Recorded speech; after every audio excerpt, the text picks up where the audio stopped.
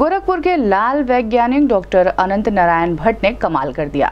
Corona को मात देने के लिए इसी हफ़्ते लॉन्च होने वाली टू डी कोरोना की दवा रक्षा अनुसंधान, विकास अनुसंधान संगठन डीआरडीओ द्वारा निर्मित कोरोना संक्रमण की देशी और पूरी तरह कारगर दवा टू डी बनाने वाले वैज्ञानिकों की टीम के डॉक्टर अनंत नारायण भट्ट गोरखपुर के रहने वाले हैं। उनको इस बात का गर्व भी है, पूरी तरह अपने ही देश में निर्मित यह दवा शैशे में पाउडर के रूप में है। डॉक्टर अनंत के मुताबिक दवा टू डी ट्रायल में कोरोना संक्रमण से शत प्रतिशत निजात दिलाने में कारगर रही है। इसी हफ़्ते यह बाज़ार में भी उपलब्ध होगी। करीब हफ़्ते भर पहले drug controller general of India से आपातकालीन इस्तेमाल की मंजूरी मिलने के बाद हैदराबाद की डॉक्टर रेडीज लैब ने इसका उत्पादन शुरू कर दिया है। डीआरडीओ के वैज्ञानिक डॉक्टर अनंत नारायण भट्ट ने आशा की किरण दिखाई है। यह देशी दवा कृत्रिम ग्लूकोज कोरोना को चोक कर गंभीर और अति गंभीर मरीजों पर भी कारगर है। साथ ही इसके इस्तेमाल से तीन दिन के अंदर ऑक्सीजन सपोर्ट भी हट जाएगा। पूरी तरह देश में निर्मित कोविड मेडिसिन टू डी को विकसित करने वाली टीम के अहम सदस्य डीआरडीओ के वरिष्ठ वैज्ञानिक डॉक्टर अनंत नारायण भट्ट गोरखपुर के गगहा इलाके के कौवा डील के रहने वाले हैं। उनका कहना है कि उन्हें इस बात पर गर्व की अनुभूति होती है कि वह मुख्यमंत्री योगी आदित्यनाथ के गृह ज़िले के रहने वाले हैं। बकौल भट्ट आज गोरखपुर सीएम योगी के नाते पूरे विश्व में जाना जाता है।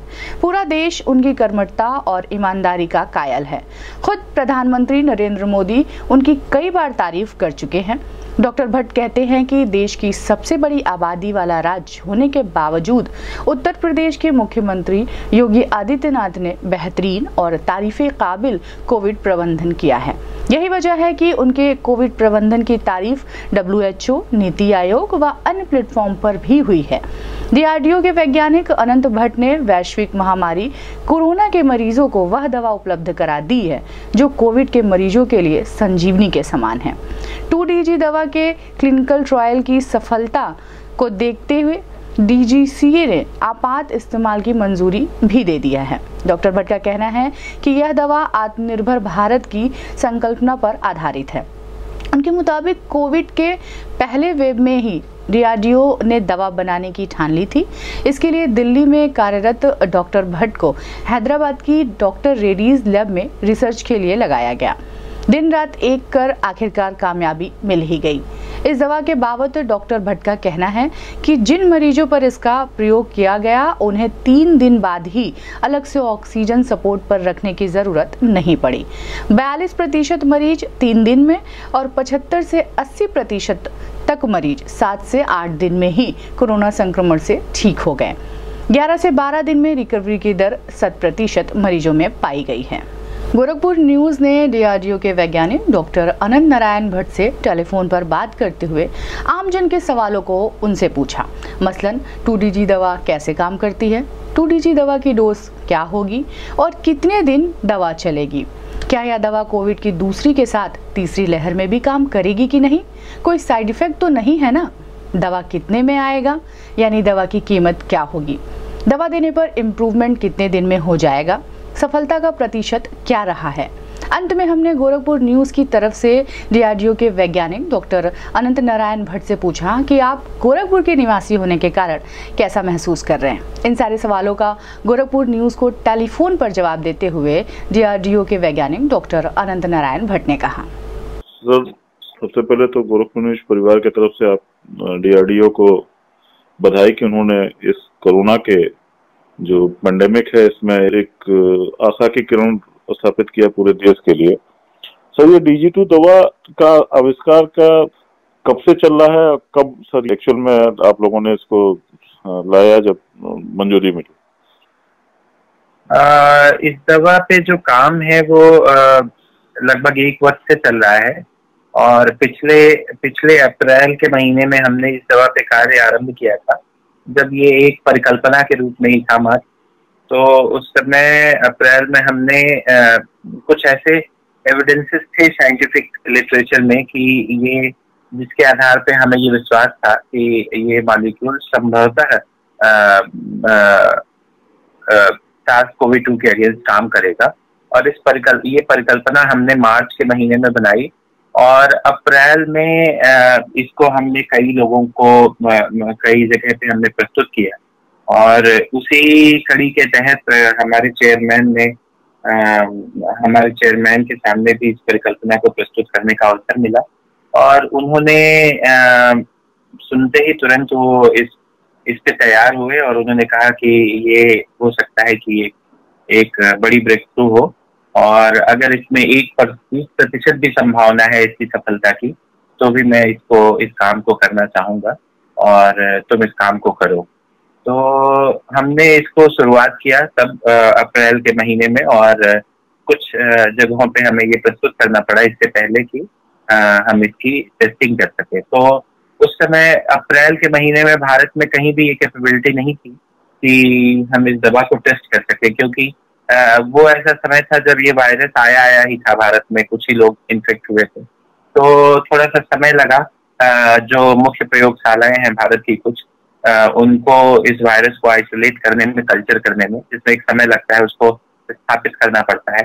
तो वो एक महीने का समय लगा भारत की कुछ मुख्य प्रयोगशालाओं ने उसको स्थापित कर लिया, जिनमें से सीसीएमबी हैदराबाद एक थी। दो ही प्रयोगशालाएँ थी उस समय जो आइसोलेट करके और इस्टेब्लिश कर पाई तो उसमें सीसीएमबी हैदराबाद एक प्रयोगशाला थी। तो सीसीएमबी हैदराबाद ने, हमने ऐसी दोनों प्रयोगशालाओं को लिखा था। सीसीएमबी हैदराबाद ने हमें उसके लिए आमंत्रित किया कि आप आइए यहाँ पे और यहाँ आके आप अपने ड्रग को टेस्ट कर सकते हैं। तो उस समय में चूँकि कंप्लीट लॉकडाउन था उस समय तो हमारे जो चेयरमैन हैं उन्होंने हमें एक विशेष विमान विमान से हैदराबाद भेजा कि मैं जाके इस दवा का परीक्षण कर सकूँ। तो मैं मैं हैदराबाद गया सीसीएम हैदराबाद। और वहाँ पे आ, उस समय जो प्रयोगशाला थी वहाँ के जो वैज्ञानिक थे वायरोलॉजिस्ट थे उन लोगों के साथ मिलके हमने इस दवा का परीक्षण किया। और उसका परिणाम जो है वो एक हफ़्ता समय लगा वो प्रयोग करने में और उस प्रयोग के दौरान हमें एक हफ़्ते बाद परिणाम मिले और वो परिणाम बहुत सुखद थे। ये जो दवा थी ये बहुत अच्छी कारगर थी ऐसे मरीजों में सॉरी ऐसे सार्स कोवी टू वायरस के अगेंस्ट और उस उस परिणाम के आधार पर हमें फिर डीसीजीआई से क्लिनिकल ट्रायल करने की अनुमति मिली। तो उसके बाद मई में ये क्लिनिकल ट्रायल आरंभ हुआ और मई से अक्टूबर तक clinical trial phase two clinical trial के दो चरणों में पूर्ण हुआ और ये मई से अक्टूबर तक चला और नवंबर में पुनः हमें फ़ेज़ थ्री क्लिनिकल ट्रायल की परमिशन मिली और वो ट्रायल जो है वो मार्च और अप्रैल के महीने में पूर्ण हुआ। उसकी सारी एनालिसिस करके हम डीसीजीआई के पास गए और डीसीजीआई ने हमें फिर phase three phase three clinical trial के सफल परिणामों के आधार पर हमें इमरजेंसी यूज़ अप्रूवल की अनुमति थी। तो ये लगभग पूरा मार्च, अप्रैल से लेके और मई 2021 तक ये लगभग पूरा एक वर्ष का सफ़र रहा है। देखिए, मैं एक चीज़ यही कहना चाहूँगा कि ये भारत की दवा है, ये इंडिजिनस दवा है और अभी तक जितनी भी दवाएँ आई हैं भारत में जो पॉपुलर एंटीवायरल हैं, जो जो मार्केट में बिक रहे हैं, जिनकी कमी भी हो रही है और लोग उस दवा के पीछे भाग रहे हैं। वो सारी दवाएँ हैं जो पहले पहले से ही मार्केट में उपलब्ध थी। वो या तो वो क्लिनिकल ट्रायल के बहुत एडवांस स्टेज में थी या मार्केट में उपलब्ध थी और उनको तुरंत क्लिनिकल ट्रायल करके भारत में लाया मतलब पूरे विश्व में और भारत में भी लाया जा सका। लेकिन ये पहली ऐसी दवा है जो दवा के रूप में कहीं अप्रूव नहीं थी। तो ये भारत की बहुत बड़ी उपलब्धि है कि हम लोगों ने इस दवा को ये एक केमिकल के रूप में जाना जाता था और क्लिनिकल ट्रायल इसका हो चुका था लेकिन दूसरे कारणों के लिए हो चुका था। ये वायरस के लिए ये दवा अभी तक कहीं अप्रूव नहीं थी पूरे विश्व में और ये कैंसर के लिए भी ये दवा पूरे विश्व में कहीं भी अप्रूव नहीं है। लेकिन इस मॉलिक्यूल पे बहुत पहले से काम चल रहा था as a anti cancer drug तो हम इस मॉलिक्यूल को आ, मतलब आ, इसको आप कहते हैं अंग्रेज़ी में इसको कहा जाता है बेंच टू बेड साइड मतलब आप वर्किंग बेंच से अपनी प्रयोगशाला से इस मॉलिक्यूल को बेड साइड मतलब अस्पताल के बेड तक पहुँचा पाए हैं।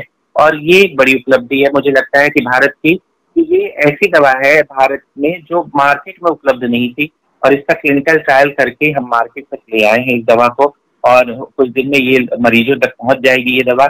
और ऑलरेडी कई मरीजों को ये ऑलरेडी दी जा चुकी है।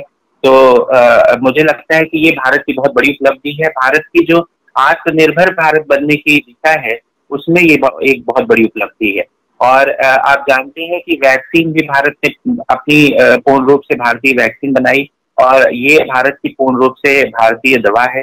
तो ये दोनों जो ये दोनों जो वैज्ञानिक उपलब्धियाँ हैं, ये भारत की बड़ी वैज्ञानिक उपलब्धि है। सर, इसमें जो डिजिटू जो काम करता है, सर, ये कैसे काम करता है? देखिए टू डीजी जो मॉलिक्यूल है, ये ग्लूकोज का एनालॉग है स्यूडो ग्लूकोज बोलते हैं इसको। तो ये जो स्यूडो ग्लूकोज है, ये बेसिकली क्या करता है कि ये इसको मतलब जो वायरली इन्फेक्टेड सेल्स होती हैं, जैसे जब वायरस मनुष्य के शरीर में घुसता है तो कुछ कोशिकाओं को इन्फेक्ट कर देता है। और जब वो इन्फेक्ट करता है तो ये वायरस उन कोशिकाओं में अपनी वृद्धि करती हैं और उसके बाद वहाँ से निकल के तमाम कोशिकाओं को इन्फेक्ट करती हैं। और वो तमाम कोशिकाओं से फिर अन्य तमाम कोशिकाओं को इन्फेक्ट करती हैं। और सबसे ज़्यादा इसकी जो एफिनिटी होती है इसको इस, इसको इसके लिए सबसे अच्छा सेल जो प्रोवाइड कराती है शरीर में वो है फेफड़ों की कोशिकाएँ क्योंकि श्वसन के रास्ते ये अंदर जाता है हमारे शरीर में। तो इसी यही वजह है कि फेफड़ों की कोशिकाएँ जो है वो पूर्ण रूप से क्षतिग्रस्त हो जा रही हैं क्योंकि हर कोशिका में धीरे धीरे ये घुस जा रहा है। और वहाँ ढेर सारी अपनी कॉपी बना के और पूरे शरीर में फैल रहा है। तो ये एक तरह से मान के चलिए कि ये फेफड़ों की कोशिकाओं को मुख्य रूप से प्रभावित करता है। अब ये दवा कैसे काम करती है कि ये ऐसी सारी कोशिकाओं की जो ग्लूकोज डिमांड है, वो बहुत ज़्यादा बढ़ जाती है। मतलब उनको बहुत ज़्यादा ग्लूकोज चाहिए होता है ताकि वायरस बहुत तेज़ी से मल्टीप्लाई कर सके। तो ये चूँकि एक सूडो ग्लूकोज है तो ये क्या होता है कि ऐसी कोशिकाओं में ज़्यादा एकत्रित हो जाता है जो वायरस से इन्फेक्टेड है। ये सामान्य कोशिकाओं में ज़्यादा नहीं जाता। सामान्य कोशिकाओं में इसकी बहुत कम मात्रा जाती है। तो इसलिए सामान्य कोशिकाओं में बाकी प्रक्रिया सामान्य रूप से चलती रहती है। लेकिन ये जो वायरली इन्फेक्टेड सेल्स हैं, उनमें बहुत ज़्यादा जाके इकट्ठा हो जाता है। ये इसकी बहुत अच्छी खूबी है। तो जब ये वहाँ जाके इकट्ठा हो जाता है तो आप एक सामान्य व्यक्ति की भाषा में ऐसे समझ सकते हैं कि वहाँ जाके इकट्ठा होके ये मेटाबॉलिज्म को चोक कर देता है। मतलब समझ लीजिए कि एक दरवाजे से ढेर सारे व्यक्ति घुस रहे हैं और जब उसमें जाके आगे बढ़ ही नहीं रहा है वो व्यक्ति, वहीं रुक गया तो फिर दरवाजे से और लोग नहीं घुस पाएँगे फिर। तो वो वहीं पे जाके रुक जाता है और और ग्लूकोज की रिक्वायरमेंट जो है उस शरीर की वो, उस कोशिका की वो पूरी नहीं होती है। तो जब वो उस कोशिका की ग्लूकोज की डिमांड पूरी नहीं होती है तो उस कोशिका में वायरस मल्टीप्लाई नहीं हो पाता। और जब वायरस मल्टीप्लाई नहीं होता है तो वो फिर वायरस का प्रोडक्शन जो है वो मल्टीप्लीकेशन उस कोशिका में रुक जाता है जिससे पूरे शरीर में हमारे जो वायरस हैं उनकी बन, बनना रुक जाता है उनसे। और जो शरीर को क्षति पहुँच रही है वायरस के मल्टीप्लाई होने से हमारे शरीर में वो खत्म हो जाती है। तो ये इसका मुख्य सिद्धांत है जिस सिद्धांत के आधार से ये दवा काम करती है। सर इसमें क्या ये सिंगल डोज है कि कई मल्टीपल डोज लेना पड़ेगा इसके लिए? इसकी दो डोज एक दिन में ली जाती है, सुबह और शाम। और ये सुबह आठ बजे से मतलब आठ बजे ब्रेकफास्ट और चाय से पहले सुबह एक डोज इसकी ली जाती है। और उसके बाद व्यक्ति जो है वो ब्रेकफास्ट बीस से तीस मिनट बाद ब्रेकफास्ट कर सकता है। और शाम को भी डिनर के बीस से तीस मिनट पहले इसकी एक दूसरी डोज ली जाती है। तो ये दो, प्रतिदिन दो डोजे, दो डोजेज निर्धारित है। और ये बहुत ज़रूरी है कि इसको भोजन करने से 20 से 30 मिनट पहले ही लिया जाए। और उसके बाद ये जो ज़्यादातर मरीजों में बहुत अच्छे परिणाम पाँच दिन तक मिले तो इसलिए हम पाँच दिन रिकमेंड कर रहे हैं और ये जो दवा आएगी भी, ये दस टैसेट के एक पैक, डब्बे में पैक में आएगी और पाँच दिन की दवा होगी। और अगर किसी व्यक्ति को पाँच दिन में आराम नहीं मिलता है तो कुछ लोगों की स्थिति थोड़ी ज़्यादा खराब होती है। उनके लिए हो सकता है कि सात दिन इलाज चलाना पड़े दस दिन इलाज चलाना पड़े तो वो इस दवा को कंटिन्यू कर सकते हैं लेकिन जो ये प्रिस्क्रिप्शन है वो फाइव टू सेवन डेज़ का ही है। सर इसमें इस समय जो तमाम जैसे दूसरी लहर चल रही है तीसरी की आशंका है तो सर सर ये तो सब में काम करेगा इसका मतलब? जी जी ये सभी लोगों में काम करेगा। ये दवा हमने मॉडरेट टू सीवियर पेशेंट्स में क्लिनिकल ट्रायल किया है। और ये क्लिनिकल ट्रायल में हमें ये पता चला कि मॉडरेट से सीवियर हर तरह के मरीजों में बहुत अच्छी कारगर है ये दवा और इसको अन्य दवाओं के साथ भी दिया जा सकता है तो कोई दिक्कत नहीं है कि किसी दवा के साथ दें, इस दवा के साथ नहीं दें। इसको सारी दवाओं के साथ दिया गया है और सारी दवाओं के साथ इसने बेहतर परिणाम दिए हैं। तो इसको किसी भी दवा के साथ दिया जा सकता है, क्योंकि ये बहुत सामान्य ग्लूकोज मॉलिक्यूल जैसा ही है, जैसा हमारे शरीर में बाकी सामान्य ग्लूकोज मॉलिक्यूल है जो एक बहुत ज़्यादा सांद्रता में हमारे ब्लड में और हमारे शरीर में उपलब्ध होता है उसी तरह ये मॉलिक्यूल भी है। तो इसकी इसकी बहुतायत है शरीर में और ये मॉलिक्यूल किसी दूसरे ड्रग के साथ इंटरफेयर नहीं करता। तो इसलिए ये जो है ये किसी भी दवा के साथ दिया जा सकता है। सर इसमें जैसे ग्लूकोज की बात कर रहे हैं तो कई शुगर पेशेंट हैं तो क्या उनके लिए कोई शुगर की मात्रा तो नहीं बढ़ाएगा ना? देखिए हमने जो phase two trial phase three trial किया था फ़ेज़ थ्री ट्रायल में ढेर सारे पेशेंट्स ऐसे भर्ती हुए जो जिनकी कंट्रोल्ड ग्लूकोज की आप जान रहे हैं कि ये बीमारी ज़्यादातर ऐसे लोगों को दिक्कत ज़्यादा हो रही है जिनमें डायबिटीज़ है। तो ऐसे ढेर फ़ेज़ थ्री में ऐसे कई मरीज़ भर्ती हुए लगभग 20 प्रतिशत मरीज़ जिनको जिनको कंट्रोल्ड डायबिटीज़ थी अनकंट्रोल्ड नहीं। देखिए अनकंट्रोल में क्या होता है उनकी शुगर बहुत नीचे ऊपर जाती है। तो आ, मरीज़ तो सारे ठीक हुए सारे आ, मरीज़ जिनको ये दवा दी गई वो ठीक हुए। लेकिन कुछ लोग जिनकी डायबिटीज़ बहुत अनकंट्रोल्ड थी और क्या नाम है उनका शुगर तीन सौ साढ़े तीन सौ ऐसे गया वो उन मरीजों को ठीक होने में थोड़ा ज़्यादा समय लगा। यही एक दिक्कत हुई। बाकी दवा देने में उनको कोई ऐसी परेशानी नहीं हुई। आ, उनकी डॉक्टर जो है उनको इंसुलिन दे के ऐसे मरीजों को इंसुलिन तथा जो डायबिटीज़ का मैनेजमेंट है वो अगर कंट्रोल रखें तो दवा देने के साथ कोई दिक्कत नहीं होती और डायबिटीज़ के पेशेंट भी इस दवा को ले सकते हैं कंट्रोल डायबिटीज़ के पेशेंट सर इसमें आप लोग लॉन्च कब तक हो रही है सर? किस तारीख को हो रही है?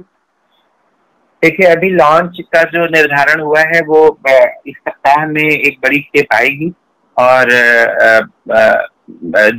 पूरी कोशिश है कि जल्दी से जल्दी इसको बाज़ार में उतारा जा सके।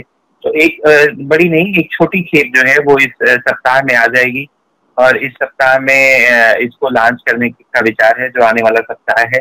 और उसके बाद फिर जो दूसरी खेप होगी, एक और छोटी छोटी खेप या कह सकते हैं थोड़ी बड़ी खेप पहली खेप से, वो मई के अंतिम सप्ताह में आएगी। और उसके बाद जून माह से जो डॉक्टर रेड्डी लैब के साथ हमारा वार्तालाप चल रहा है, बैठकें चल रही हैं उसके हिसाब से जून माह से प्रतिदिन पचास हज़ार से एक लाख सैशे जो है, वो बाज़ार में आना शुरू हो जाएँगे। और और हमें आशा है कि हम सब जो इस बीमारी से पीड़ित लोग हैं, आम जनमानस है भारत का, उसको हम उसके जन जन तक हम दवा पहुँचा पाएँगे। सर, एक, जो कॉमन सवाल है, सर, कि जो भारतीय लोगों के अंदर आता है कि आएगा कितने में?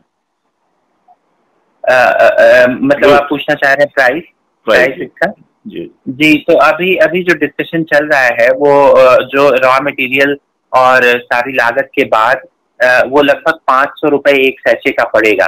तो ये कंपनी के ऊपर निर्भर करता है कि कंपनी इसको चूँकि कंपनी ने काफ़ी पैसा खर्च किया है क्लिनिकल ट्रायल कंडक्ट करने में और सारा कुछ तो वो अपनी जो लागत है वो वो सारा कुछ निर्धारित करके चूँकि डीआरडीओ जुड़ा हुआ है तो इसलिए कोशिश ये रहेगी कि ये आम जनमानस के अपने बजट में हो।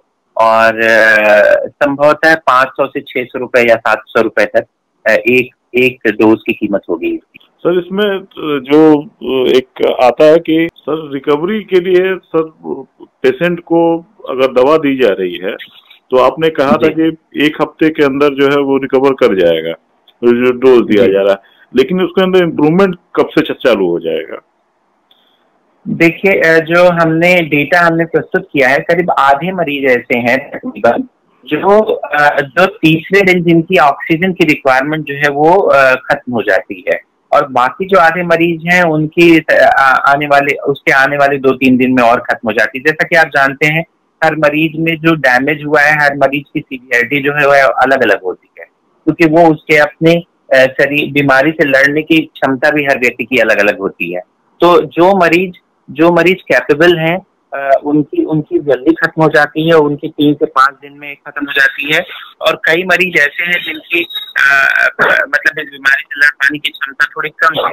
तो उनमें थोड़ा सात दिन से नौ दिन भी लग रहे हैं। ज़्यादातर मरीज़ जो है करीब सत्तर प्रतिशत मरीज़ ऐसे थे, जो सात दिन तक डिस्चार्ज हो गए। लेकिन कुछ मरीज़ ऐसे जो ग्यारह बारह दिन तक भी हमारे ट्रायल में रहे और वो बारह दिन के बाद जाके डिस्चार्ज हुए, जो जिन्होंने ये दवा लिया।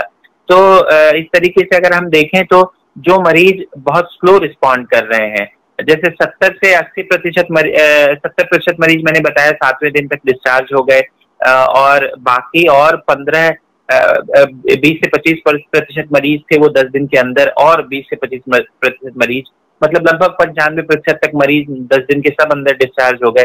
कुछ ही मरीज़ थे जो ग्यारह बारह दिन तक गए। तो आ, ये डिपेंड करता है मतलब ये मान के चलिए अलग अलग अपनी क्षमता के आधार पे आ, जो सबसे कम दिन में डिस्चार्ज हुआ है मरीज़ वो दूसरे तीसरे दिन डिस्चार्ज हो गया और जो सबसे अधिक दिन पे डिस्चार्ज हुआ मरीज़ वो बारहवें तेरहवें दिन पे डिस्चार्ज हुआ। दस दिन के गैप में लगभग लगभग सारे मरीज़ जो है वो डिस्चार्ज हो गए। ज़्यादातर मरीज़ जो है वो सातवें दिन तक ही डिस्चार्ज हो गए। सर, इसमें जो इलाज के लिए मतलब जो आपके क्लिनिकल ट्रायल का डाटा है, क्या ये हंड्रेड परसेंट इसमें लोगों ने जिनको आपने दे, दिया वो ठीक हुए? जी, सौ प्रतिशत लोग ठीक होके गए और उनकी उन लोगों की मतलब इसमें पचासी प्रतिशत लोग जब वो सातवें दिन डिस्चार्ज हुए तो उनकी जो आरटीपीसीआर रिपोर्ट थी वो निगेटिव थी। उनके जितने भी सिम्टम थे, वो सारे सिम्टम समाप्त हो चुके थे तब तक, लगभग लगभग खत्म थे।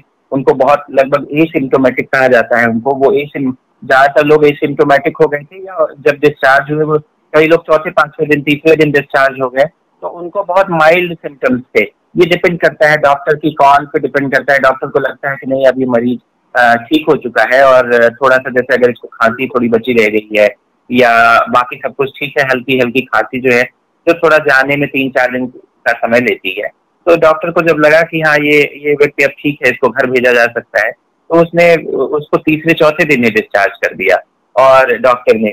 और उस मरीज़ को बस हल्की हल्की खांसी थी या कुछ ऐसी चीज़ें थी तो वो भी मुझे लगता है कि जैसे कई मरीज़ जो ट्रायल में रहे, पाँचवें दिन पे, सातवें दिन तक, और पाँचवें, सातवें दिन उनको डिस्चार्ज किया गया, उनकी खांसी भी पाँचवें, सातवें दिन तक पूर्ण रूप से ठीक हो गई। तो ये ज़्यादातर मरीजों के सिम्टम्स जो है वो दवा से क्योर हो गए पाँच सात दिन के डोजेज में और दवा अच्छा परिणाम दी है। सिम्टोमेटिक क्योर बोलते हैं इसको। क्लिनिकल क्योर और सिम्टोमेटिक क्योर तो क्लिनिकल क्योर और सिम्टोमेटिक क्योर जो है इस दवा के साथ वो मरीजों में बहुत बेहतर है और और परिणाम जो है वो बहुत अच्छे मिल रहे हैं। सर, एक गोरखपुरिया होने का कारण जो है, सर, ये कितना ये गोरखपुर के लिए तो लोगों के लिए प्राउड का विषय है कि आप जैसे वैज्ञानिक के नेतृत्व में इसको सफलता मिली। इसके लिए तो धन्यवाद। सर, आप बींग गोरखपुर रीजन के लिए ये क्या आपके लिए प्राउड मूवमेंट होगा ही होगा? जी जी, गोरखपुर एक तपोभूमि है, बाबा गोरखनाथ की भूमि है।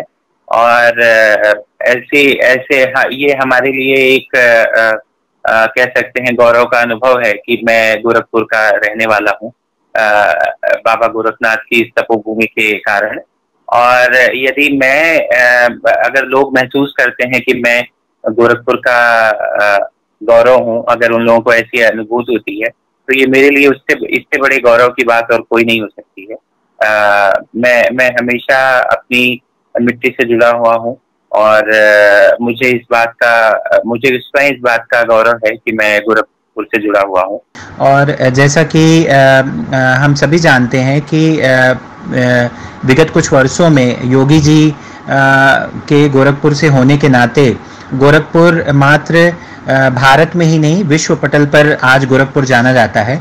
और योगी जी की जो हमारे मुख्यमंत्री हैं, उनकी कर्मठता, ईमानदारी और पूरा देश इस कर्मठता और ईमानदारी का कायल है।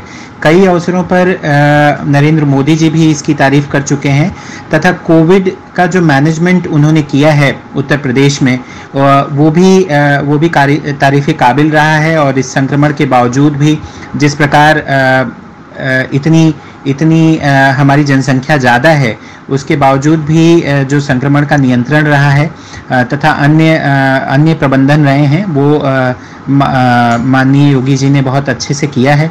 और इन नीतियों का डब्ल्यू ने तथा अन्य नीति आयोग ने डब्ल्यू ने तथा अन्य कई प्लेटफॉर्म पे बहुत अच्छी तारीफ़ भी हुई है। तो ये मेरे लिए एक सौभाग्य की बात है कि मैं भी उसी उसी ज़िले से आता हूँ, जहाँ से योगी जी आते हैं, और योगी जी का नाम इस ज़िले से जुड़ा हुआ है। तो ये ये मेरे लिए गोरखपुर से जुड़ा होना एक बहुत बड़े सौभाग्य की बात है। तो इसमें आप जैसे लोग साइंटिस्ट लगे रहे हैं तो ये इसके लिए तो बधाई के आप पात्र हैं बट सर सर जा, जाते जाते गोरखपुर न्यूज़ की तरफ़ से आपको हार्दिक शुभकामनाएँ बधाई। धन्यवाद